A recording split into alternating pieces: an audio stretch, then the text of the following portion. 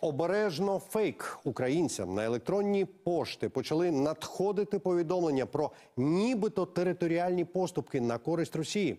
Про це повідомили у центрі протидії дезінформації. Там зазначили, що в таких листах можуть міститися гіперпосилання на сторонні сайти, під час переходу на які злочинці можуть отримати доступ до вашого носія.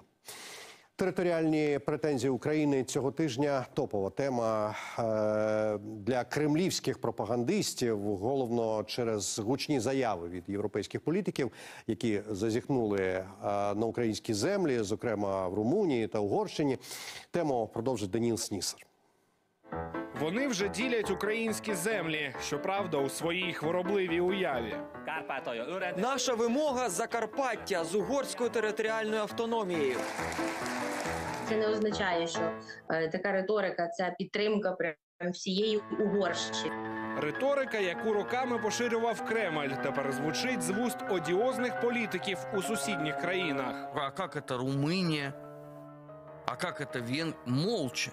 Те, що деякі маргінальні політики дозволяють собі подобні подібні заяви, е, то це робиться звичайно в угоду російській пропаганді. Чому заяви про територіальні претензії від окремих діячів із західних країн сусідок з'явилися саме зараз? І як це використовує російська пропаганда? З'ясуємо далі. Територіальні поступки як топ-тема ворожої пропаганди. Останні дні видалися насиченими на інформприводи, на які у Росії так довго чекали. Ще пак, нарешті у Путіна з'явилися однодумці в Європі, які відкрито говорять про те, що відбирати чужі території це нормально. Европейские политики делят саму Украину. Причем очень кучно и со всем, что называется, беззастенчиво. Ласло Тороцкая – один із головних персонажів кремлівської пропаганди цього тижня. Лідер партії Наша батьківщина, яку сам і заснував, давно відомий своїми ультраправими поглядами і симпатією до Москви. Під час партійного з'їзду 28 січня зробив скандальну заяву про наміри анексувати територію України у разі програшу у війні. hogyha ennek a háborúnak Якщо ця війна обернеться кінцем української державності, то як представник Угорщини я хотів би заявити, у нас є територіальні претензії на Закарпаття. Kárpátaljára. З понеділка російська пропаганда щодня показувала цей виступ своїм невибагливим глядачам. У кожному ток-шоу псевдоексперти виправдовували цими заявами загарбницькі амбіції Кремля, подаючи їх як позицію всієї Угорщини. Конечно, э, при любых территориально-политических изменениях на Украине руководство Венгрии хочет учитывать интересы венгерского меньшинства, которое по-прежнему живет в Закарпатье. И, строго говоря, с точки зрения международных норм и прав э, и правил, э, Венгрия имеет на это право, так же, как и мы. Це все е, звичайно просто риторика, Е, тому що у нас є міжнародне право, у нас є е, система, оця Ялтинська Потсдамська е, міжнародних відносин, яка встановила кордони в Європі, яка е, підтвердила непорушність цих кордонів. Майже синхронно з угорцем схожі бажання щодо українських територій і навіть молдовських пролунали в Румунії. І знову з уст лідера правої партії Клаудіо Тизріу.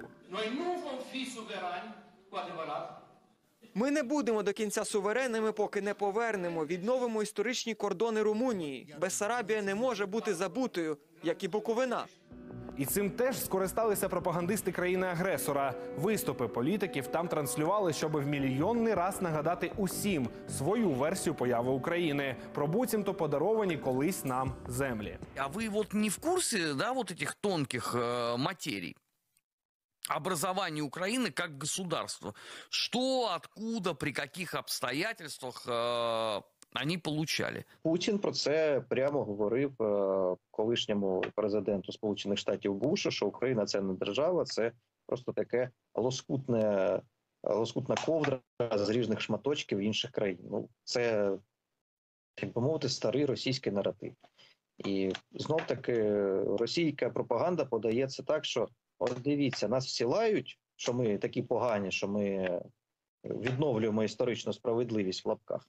А ось е, всі сусіди е, е, України також були б не проти це робити. Це для того, щоб створити е, розуміння у світі, таке враження, що всі сусіди України зацікавлені в її ліквідації, ліквідації державності, в територіальних оцих е, претензій про те, що частина України стане угорською, типу про е, те, що е, після повного там е, виграшу Росії Україну розділять е, Польща, Угорщина, Румунія, все вернеться на свої історичні кордони.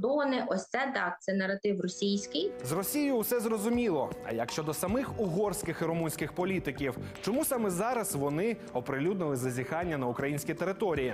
Усе просто попереду вибори. Румунія цьогоріч обиратиме новий парламент та президента. Угорські ж ультраправі ну дуже хочуть у парламент європейський.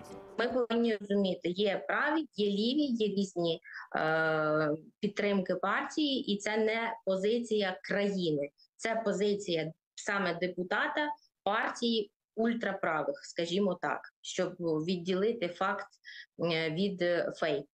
І оці всі заяви це скоріш все. Е, Шанс зібрати більше голосів націоналіст е, на, на цих виборах е, майбутніх, які відбудуться, до речі, в червні до Європарламенту.